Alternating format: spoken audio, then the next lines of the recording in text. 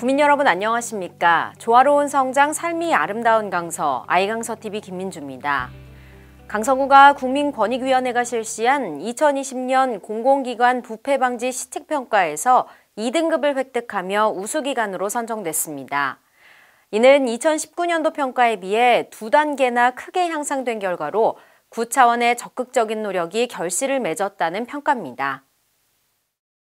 이번 평가는 전국 263개 기관을 대상으로 2019년 11월부터 2020년 10월까지의 각 기관별 부패 방지 추진 실적이 종합적으로 평가됐습니다.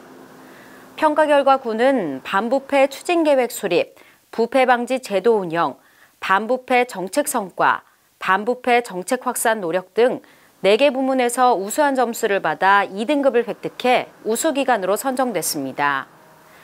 특히 적극적인 반부패 청렴 시책 이행 노력이 높은 평가를 받아 두 개 부문에서 100점 만점을 획득하기도 했습니다. 한편 군은 이번 평가 결과에 만족하지 않고 다각적인 부패 방지 시책 이행으로 국민에게 신뢰받는 부패 없는 청렴한 강서를 만드는 데 최선을 다하겠다는 방침입니다.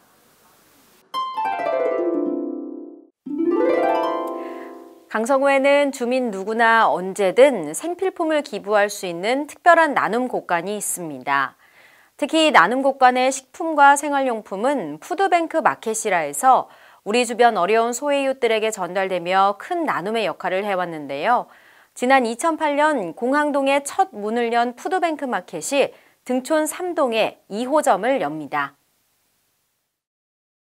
푸드뱅크 마켓은 식품 취급업체나 개인으로부터 식품과 생활용품을 기증받아 기초생활수급권자, 차상위 계층 등 취약 소외 계층에게 제공하는 서비스입니다. 특히 강서구 푸드마켓은 이용자가 원하는 때에 방문해 필요한 물품을 직접 선택할 수 있어 이용자 중심의 매장으로 많은 사랑을 받았습니다. 강서구는 앞으로 접근성을 개선하기 위해 올 하반기 2호점을 새롭게 오픈합니다. 2호점은 등촌동 687-3번지 210제곱미터의 규모로 지어집니다.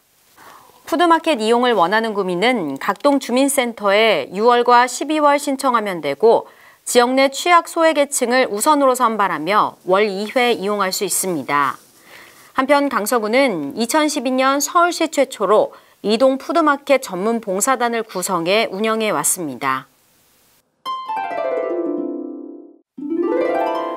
코로나19 감염 예방과 관련해 환기의 중요성이 강조되고 있습니다. 특히 버스와 같은 밀폐 공간의 공기질 관리는 큰 과제가 되고 있는데요. 이에 강서구가 지난 20일 전국 최초로 봉제산 노인복지센터 셔틀버스에 공기 정화 환기 시스템 설치를 시작으로 지역 내 유치원과 어린이집 통학버스 등 버스 16대에 순차적으로 설치 운영을 추진합니다. 강서구의 안심클린 에어버스는 버스 천장에 설치된 공기 정화 환기 시스템이 외부에서 유입된 공기를 UVC LED와 필터를 통해 살균 정화시켜 코로나19뿐 아니라 미세먼지에 대응해 공기질을 지속적으로 관리합니다.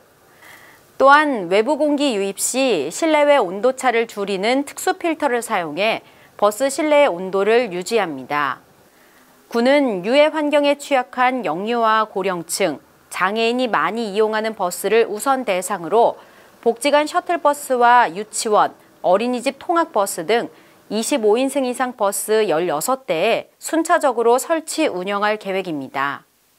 특히 구는 버스뿐 아니라 어린이집과 다중이용시설 등 지역 내 다양한 시설에 공기정화 환기 시스템을 설치하는 안심 클린 에어존도 조성하는 등 구민들이 안심하고 생활할 수 있는 환경을 만드는 데 최선을 다한다는 방침입니다.